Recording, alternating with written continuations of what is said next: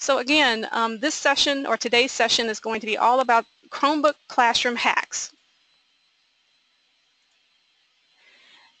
And I'll be your host for the next little while. I'm Carla Kuiper, EBR Instructional Technology Facilitator. My email, if you have any questions about anything in today's webinar, is kkuiper11 at ebrschools.org, and I'm a Google for Education certified trainer. This webinar is worth one CLU, so please sign in with your name to receive credit in ERO. This webcast is being recorded and these slides will be shared with everyone. Feel free to use the chat tools to ask a question live and if you have a microphone connected, if you would mute it, especially if it becomes noisy, like right now. Let me mute my microphone for just a moment.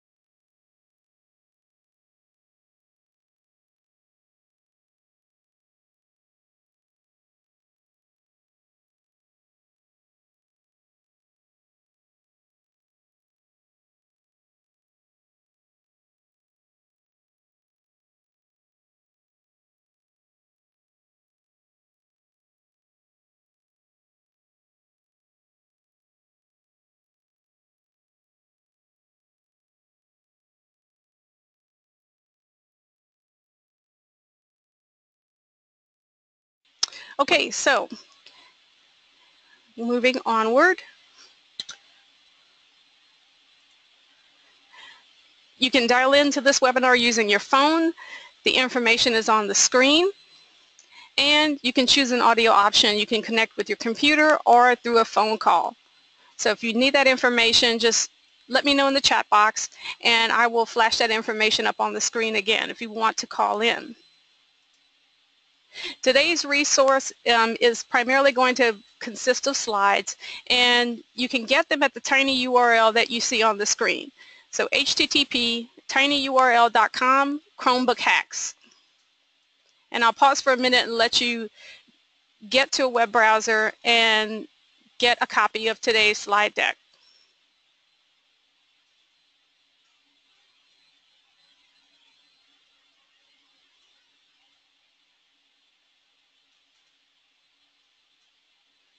And, and while you're grabbing today's slide deck,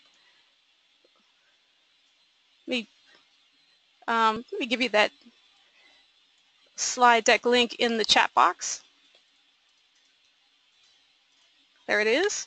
Okay, hopefully everybody can uh, grab that hyperlink. And then while you're doing that, let me tell you about um, hacks because if you thought that today's webinar was about hacking into the Chromebooks and doing things that are not authorized by our technology department, I just wanted to make sure that you understood exactly what I was talking about. Today's webinar will not get you in any trouble.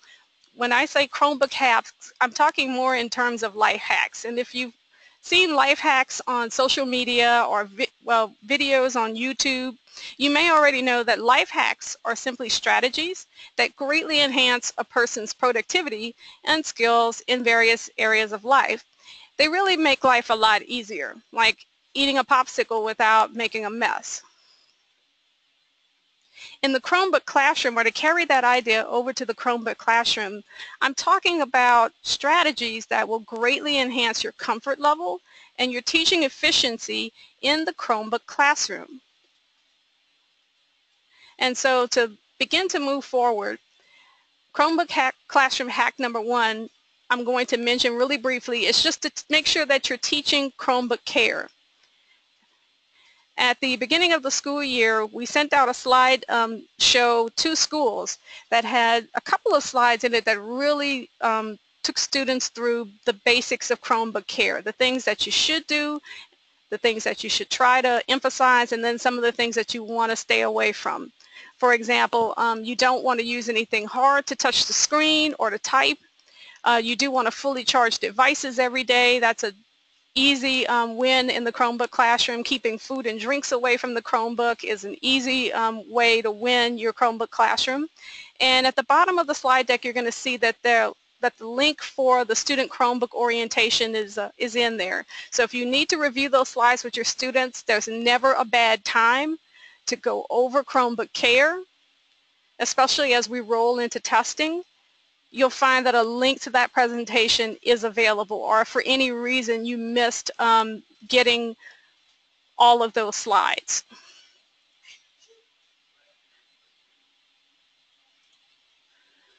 So my next hack for the Chromebook Classroom is to make sure that you add digital citizenship. There's never a bad time to use teachable moments in your classroom in terms of digital citizenship. And we've got some great resources available to you for digital citizenship. There are some toolkits on the digital citizenship site called Common Sense Media. And the link at the bottom of the slide will take you to the Digital Citizenship Toolkit for E-Rate and some other really timely topics like um, fake news, talking with kids about cyberbullying, and also talking with kids about uh, a gender digital life toolkit. The E-Rate toolkit is the one that you may have seen before because it's been around for years and it's been here to help us fulfill our E-Rate requirements as a school district. And you'll see that the lessons are broken out by K-2, elementary, middle school, and also high school. There are even resources for parents and they will help get parents involved in digital citizenship at your school site. In addition to digital citizenship, there are also resources for, for students. There's a digital passport for kids in grades 3 to 5, a digital compass for kids in middle school, and then a program called Digital Bytes for kids who are in ninth grade and up.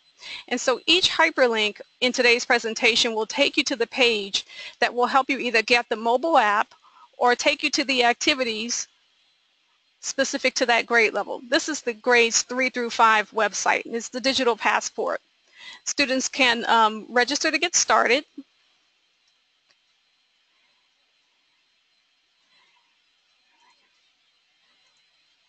And they can play free games and activities that are available. Educators can do logins or students can do logins as well. And it's all free.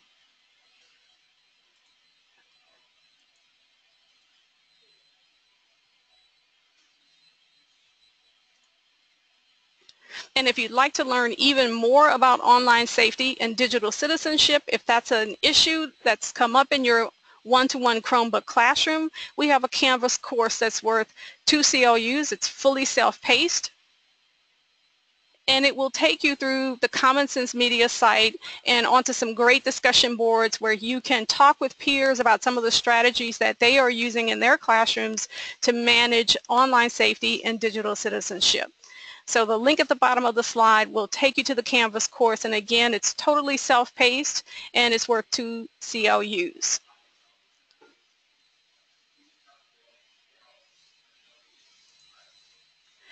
Okay, so for my third Chromebook classroom hack, learn the Chromebook vocabulary and also Chromebook basics. And so let me share some things with you that will help you to do exactly that. So for example, let's start with the vocabulary.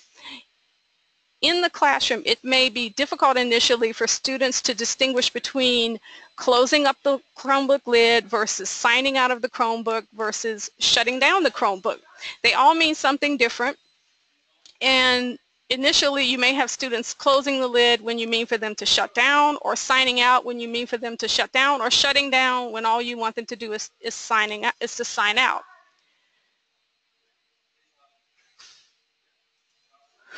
One of the things that you can do to address that is that we have a Chromebook course posted in Canvas and Let me take you over and show you some things. It is filled with modules that will help you learn the basics of the Chromebook, things about the Chrome operating system. So if there are things that as a teacher you would like to know more about or that you would like to learn more about, um, things like logging in, things like logging out, navigation, there are some course modules that are in here that are very helpful. There's also Chrome Chromebook management information using the Chromebook and a lot more. So everything that you wanted to know about the Chromebook but you, were afraid to ask. Um, increasing your knowledge of the device itself is a great way to make life a lot easier in the Chromebook one-to-one -one environment.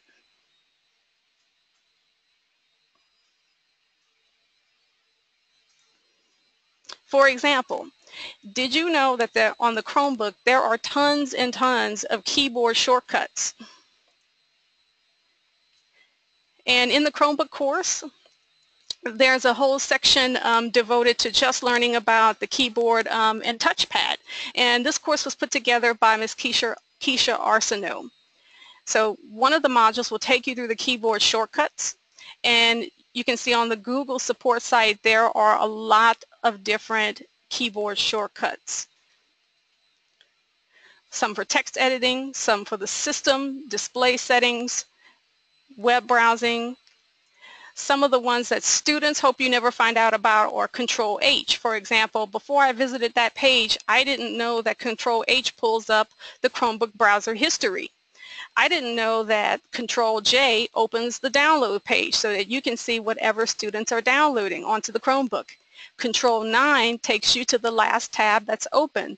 So when students are, um, are on the Chromebook and they have tons and tons of pages open and they have lots and lots of tabs on their Chromebook and you can't see all of them, hit, just hit Control 9 and it'll take you to the last tab that's open.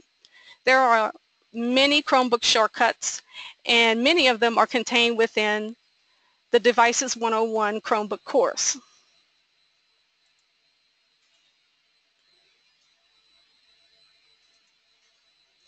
There are also many accessibility features and this is a really great Chromebook classroom hack for students who may have um, a need for accessibility features.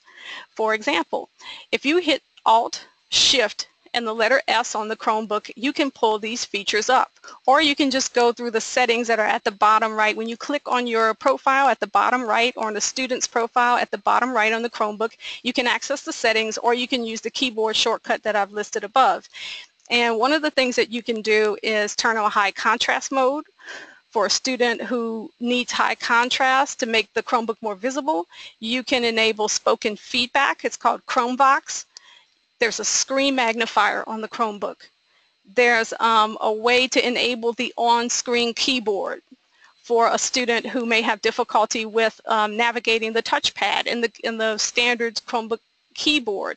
So make sure that you that you take some time and look at these accessibility features because these might just be the Chromebook hack that a student needs in your classroom.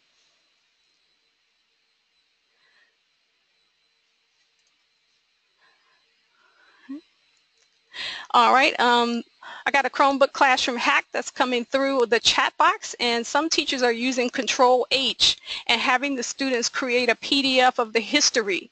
They use it to create a digital exit ticket and um, through Google Classroom where they reflect on what they learned from each site that they visited. I think that's a great idea. So Control H to pull up your history from the Chromebook and then create a PDF of that document and, um, and that's a great way to, to have the student reflect on the day or even um, maybe even keep track of websites that they're using during a research session or a class project.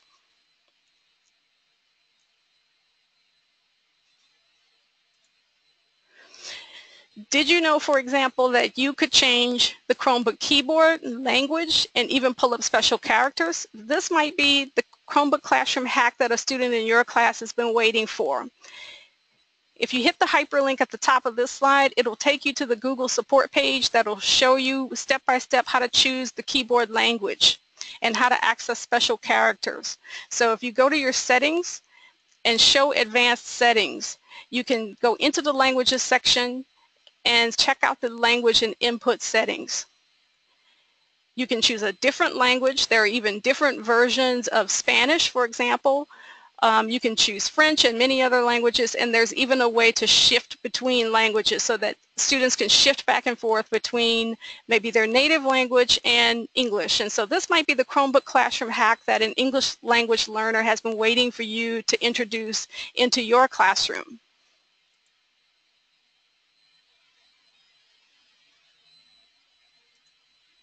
All right. Classroom hack number four, GoGuardian. And there's a lot that I could say about GoGuardian. It's really its own training, but the, the bottom line is that GoGuardian is the district's choice for digital classroom management, especially for our one-to-one. -one. And the website is displayed on the screen, goguardian.com. Basically, in a nutshell, GoGuardian allows you to monitor student screens, track web activity, and it also will enroll your students from Google Classroom. So if you're using Google Classroom, you don't even have to create accounts for students or send out enroll um, invitations or invite the students in with a code. You can just enroll them directly from Google Classroom. You also have the option to set up classes in GoGuardian if you would like. And so you can kind of see from the little um, GIF that's running on my screen right now some of the things that you can do with GoGuardian. Of course, I should mention that the best program for classroom monitoring in the digital classroom is of course teacher awareness and teacher withitness. But of course, given that we're all human beings, it doesn't hurt to have some digital help with classroom management and classroom monitoring. And so GoGuardian is the choice that the district has made. And you can see just looking at the little video that I have running, you can select student screens, lock devices, monitor what's on student screens. It's really a wonderful program. If you need access to GoGuardian, there are a couple of choices available to you if you haven't had a training on your campus available or if you haven't been able to make one of the face-to-face -face trainings that have been available on your campus. Go to the website training.goguardian.com and you can even earn a digital badge and a GoGuardian certified teacher certificate. And then we also have a Canvas course available and it's available for one CLU. Either way, if you take the self-paced course, it takes less than an hour and you can get proof um, that you can use to then access your account. When you complete either course, place a help desk ticket and include your proof of completion of either the Canvas course or the GoGuardian course. And you can get access to your GoGuardian account that will allow you to start setting things up for your classroom. And if you have any questions about that at all, feel free to email me or email the, um, the EdTech team and we can talk with you more about gaining access to GoGuardian. Okay, hack number six, digital teaching moves. Okay, um, there's a wonderful article out there called Five Tips for Classroom Management within a one-to-one. -one. And it's got some really helpful information in it. And I won't go through all of the information that's um, contained within the article. There's so much there.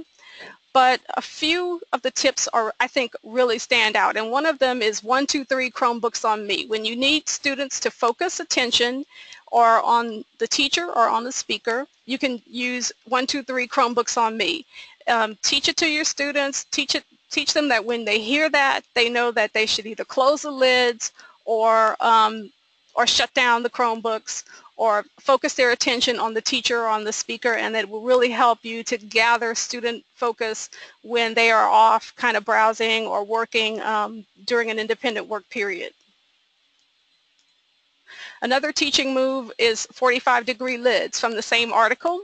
Remember, Chromebooks start up in eight seconds. So anytime you need to gather attention, you can either have students put their lids at 45 degrees or even to close the Chromebooks. And so when you need to um, provide direct instruction, directions, or just to gather attention or focus back to your classroom, uh, use a command like 45 degree lids. Another great tip from the article is to use the technology stoplight. For example, in the article, they suggested that red might be no Chromebooks today or no tech. which is perfectly okay. Yellow, using technology but lids are closed until directions are given, or green, um, using the Chromebooks to start class. So the teacher would indicate maybe outside the classroom or at the front of the classroom which um, uh, color is in effect for the day, red, yellow, or green, and that way students would know to either that Chromebooks are closed beginning the class or open to begin the class.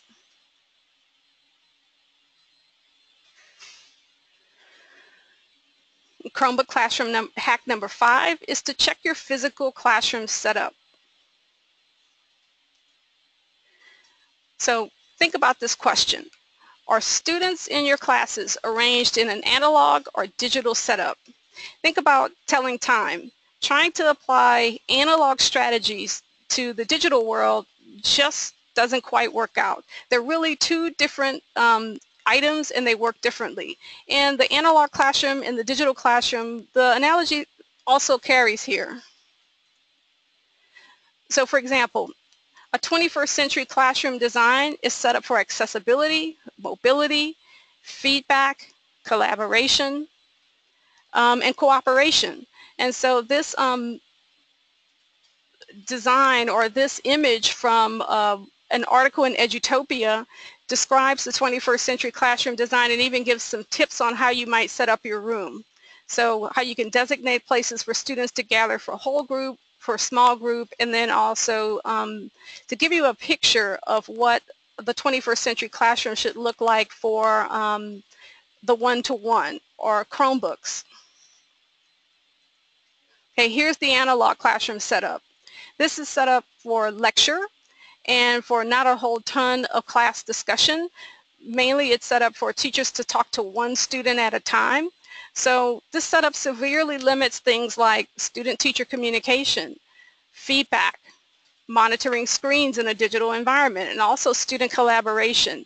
So check your classroom physical setup and make sure that you're moving your classroom setup into the 21st century just like you're moving your teaching resources and your teaching strategies.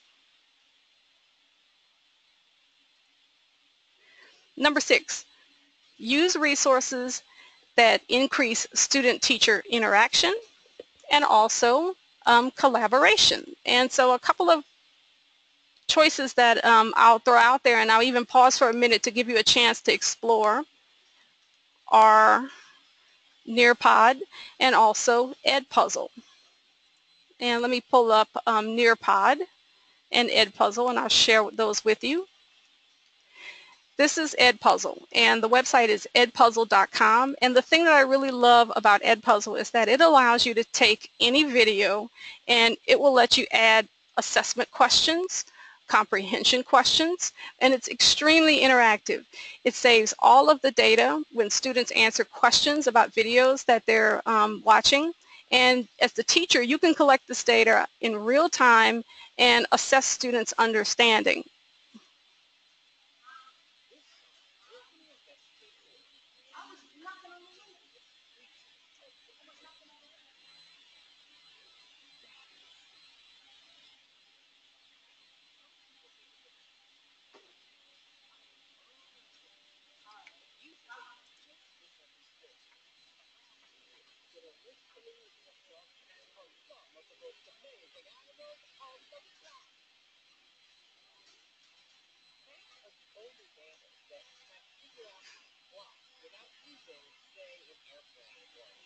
Okay, so you can see we, we won't watch this entire video, but very simple question, primarily designed for students in the lower grades.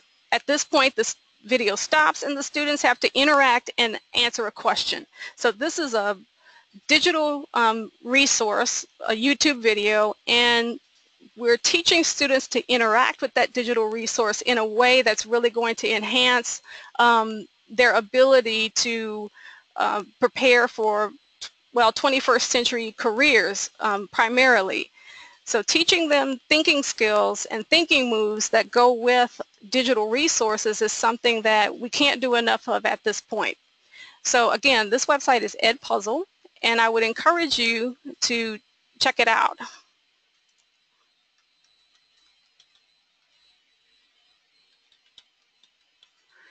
And I put the link in the chat box so that you can visit that site and see if that's something that you need to incorporate into your classroom. The nice part about Edpuzzle is that it integrates with Google Classroom and you can also log in using your Google account. So you don't even have to create a new account, um, a password and a username and figure all that out.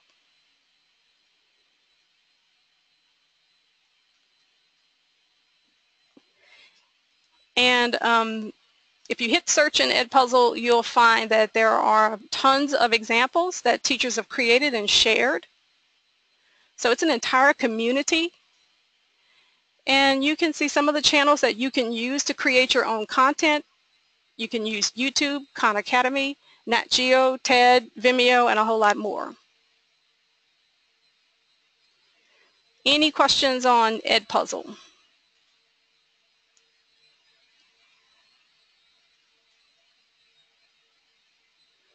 All right, another resource that I'm going to share will be Nearpod. And Nearpod is filled with interactive presentations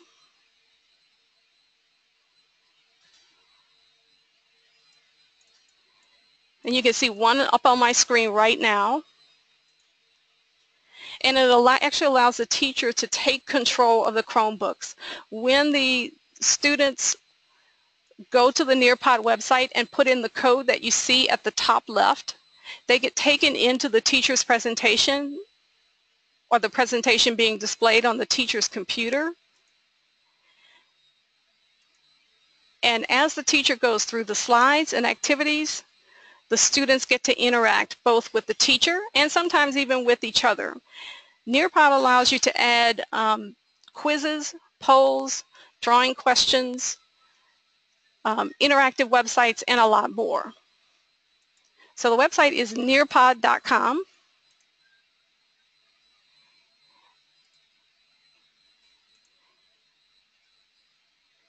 You can create your own presentations from PowerPoint slides, from PDF documents that you have already, or you can explore Nearpod's vast library of content.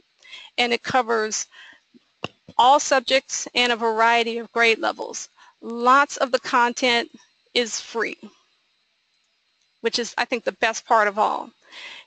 There are um, presentations on this site that will allow you to, to pay for something, but I'll be honest, I use most of my content from Nearpod and most of it is free.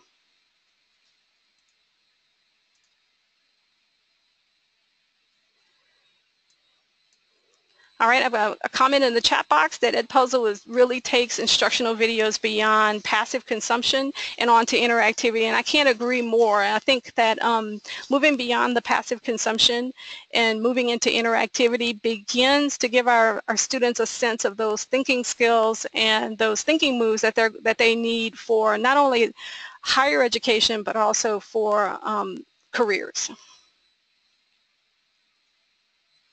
Any questions on Nearpod? So classroom hack here is be sure that you're taking advantage of resources that are out there that increase student teacher interaction. In other words, the Chromebook doesn't have to create a separation between the student and the teacher. You can use the Chromebook in a way that actually increases the amount of feedback and collaboration and interaction between you and your students. And when you do that in a way that's really engaging, then you're hacking the classroom. All right, and if you want more tools that are like Edpuzzle and also like um, Nearpod, if you visit the EBR Technology website and check out our favorite tech integration tools, and this is a wonderful presentation started by Ms. Arsenault, you will find that there's a variety of tools and they're put together in a Google Slide format with a table of contents that will take you to exactly what you need. So if you like tools like Edpuzzle and you like things like Nearpod and you want to find out what else is out there, then you can come over and find things like ThingLink, how to engage students with interactive images and videos Or how about Make Believes Comics or Make Beliefs Comics? Or did you know about Classcraft, which is also a tool that's integrated with Google Classroom? So all of that and more is on the EBR EdTech website under the integration tools, which is linked to the slide deck.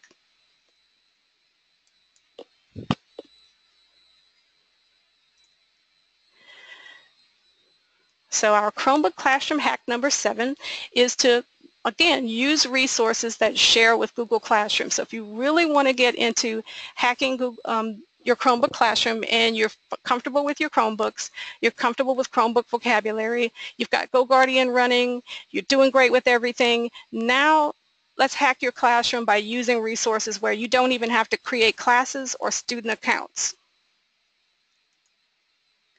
So just a few resources that work with Google Classroom are Newsela or Newsela, Discovery Education, Actively Learn, and Duolingo. In fact, there's a whole website of these that are set up on the um, Google for Education website. And if you hit that hyperlink, it will take you to the page that has a list of all of the different tools that integrate with Google Classroom. I'm going to pause here and let you hit that hyperlink and even visit this site and explore one or more of these websites. The first set are um, websites that connect with the school system, student information system, and then you'll also find interactive teaching tools such as Classcraft, which allows um, the teachers to pull their roster from Google Classroom, tools that improve reading, such as Newsela, Coding and STEM. Tynker is a wonderful website that students enjoy and they love learning how to code at the same time. And then if you scroll to the bottom, you'll see a variety of other websites. Now next week's webinar Wednesday is going to be all about tools that integrate with Google Classroom, either directly or that roster sync with Google Classroom. And so I will spend at least 30 minutes next week just talking about some of these tools, some hitting some highlights, and talking about some of the things that you can do. For example, here's CK12, which is a wonderful resource for math, science, and also English. And it all shares directly to Google Classroom.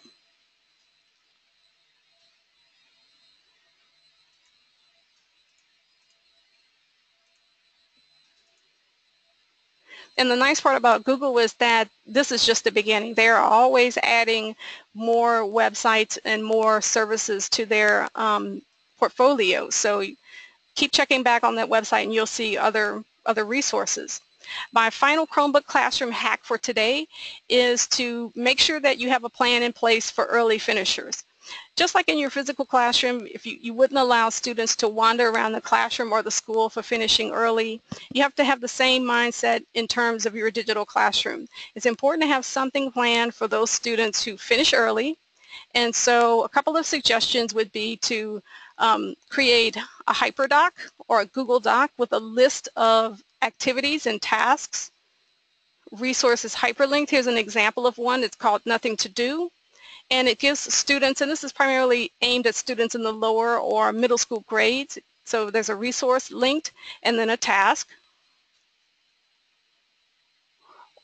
Or your Chromebook Classroom hack for early finishers might be just as simple as a set of personalized learning sites for for kids who finish things early and who need a little bit extra.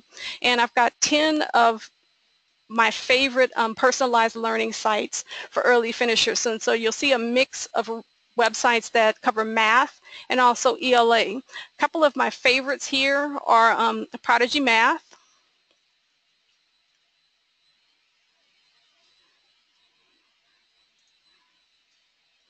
It's free and it's uh, a site that will allow students to hone their math skills in a really interactive setting.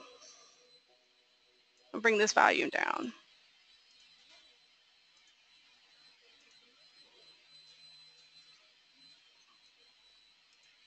So that's Prodigy Math. Um, another one of my favorites here is Newsela. Newsela has a fast library of timely articles and text sets that are, many of them are pulled from uh, highly renowned publications and um, news organizations. And they take each article and each article is presented at different Lexile levels. As you can see, you can go start at 500 and go all the way up to 1230, and you can also access articles in Spanish as well. Each article comes with a writing prompt, a quick write, and also a quiz. So it's one of, it's a favorite on my list. It's one that many teachers use for instruction. It could certainly be set up for students to use um, in an early finisher format.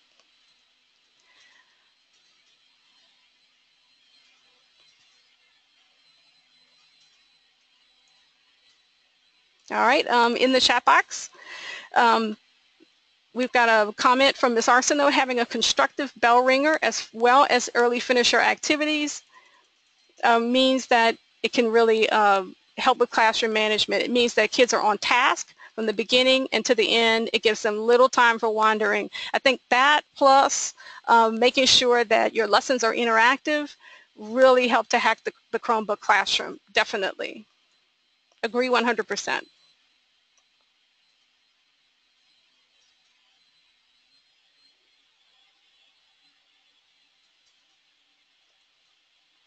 Okay, so I'm going to pause at this point. What are some of your Chromebook classroom hacks? What are some things that make life easier in the one-to-one -one classrooms that you've observed or that you've had a chance to visit or in your Chromebook classroom?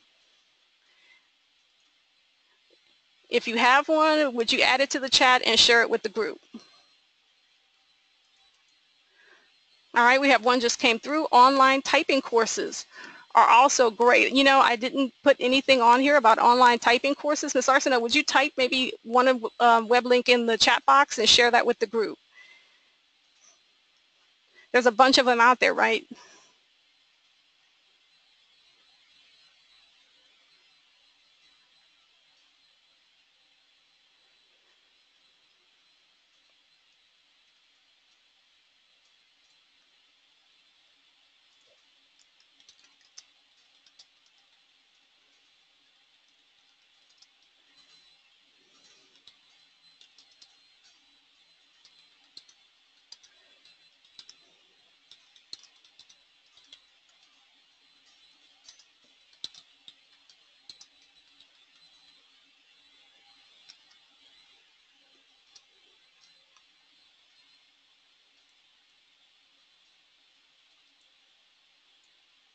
Okay, nitro type is one.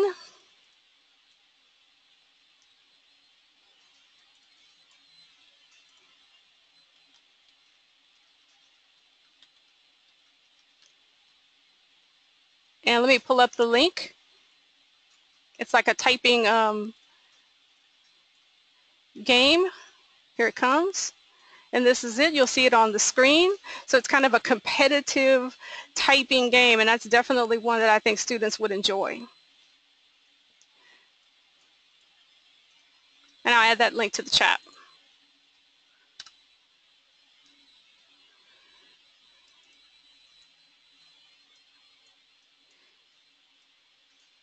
Any other tips?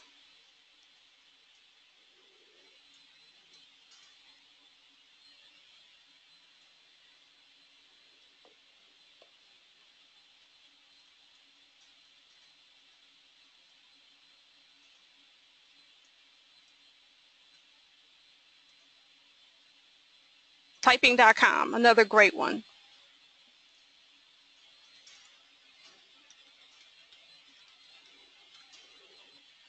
So definitely many of our students, especially as we roll into testing, um, cannot spend too much time practicing and building up their speed and their confidence in terms of typing. So I'm going to put the link to typing.com in the chat box as well. Ed And here we go, interactive assignments. So engaging digital and interactive digital practice. And so I add that link to the chat box as well. I think the best part about the Chromebook Classroom or the one-to-one -one environment these days is that there's so many resources that are available. You can um, spend just a little time online and you can begin to find interactive assignments and also even self-paced practice for students.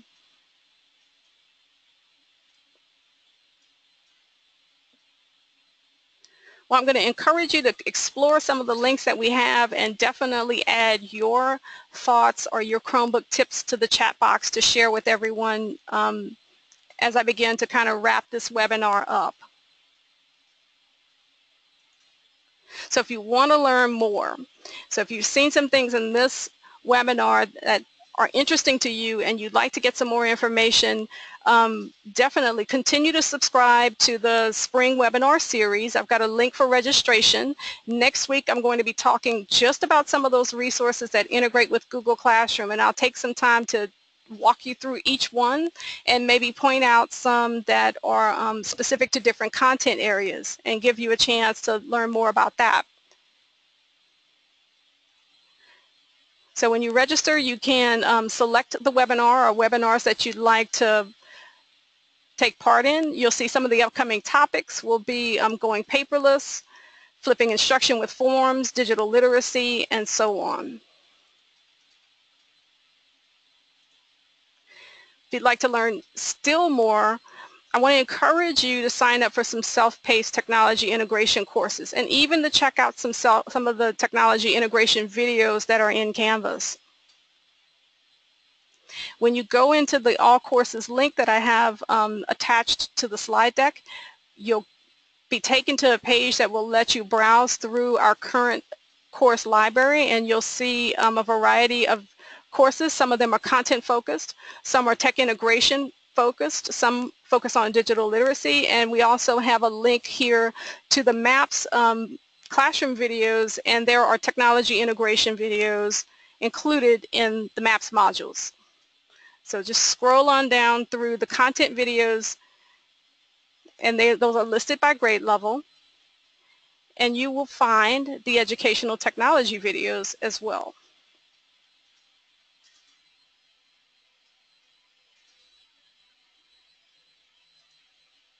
So again, next week will be Google Classroom tools that integrate and excite. So I'm going to talk just about some of the tools that are out there that integrate with Google Classroom that focus on ELA, math, virtual field trips, and even interactive formative assessment. So if you can be with me next week, that's next webinar Wednesday. And again, thanks so much for attending today. I'm going to stay around if you have questions or if you have thoughts about the Chromebook Classroom, the one-to-one -one classroom. This webinar is worth one CLU and you will receive confirmation from ERO. If you have any questions at all about anything that you've heard today, you can either send me an email at kkuiper11 at ebrschools.org or feel free to come on over to the EBR EdTech website. We've got um, a place where you can request integration support. There's a Google form on the page. Just come on over to the EdTech page and then go to support and select the link for integration support. Feel free to fill out the form.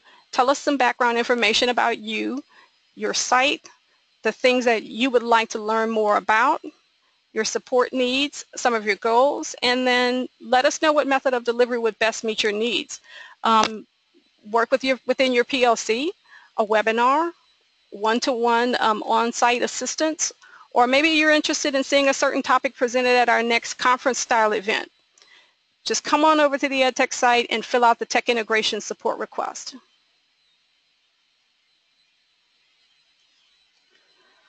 All right, so like I said, that's it from me. But if you have any questions, feel free to email me or type them in the chat box.